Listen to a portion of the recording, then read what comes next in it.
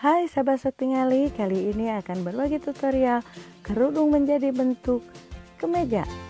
Yuk kita mulai yuk. Yuk yuk